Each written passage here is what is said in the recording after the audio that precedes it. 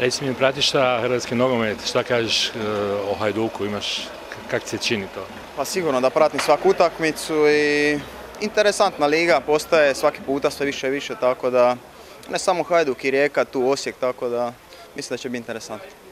Kako se čini sad Livaja i ovi igre, novi igrači koji su došli, kako se uklapa?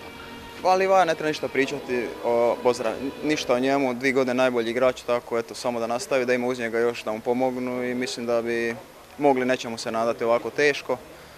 Ali kažem, dugo je prvenstvo, ovo nije sprint, ovo je maraton, tako da lako meni za njih. Neka stano svoji, nek mi ovdje prođemo i uzmemo više bodova pa ćemo mi za drugo lako. Ajde Marijan, još za kraj mi samo reći šta misliš, bi Hajduk možda mogao ove godine do titule? Pa kažem, znači, neki je sritno, daj Bože da osvoju nakon toliko godina, ali mm, sumnjam. Ništa, hvala ti puno. Hvala ti.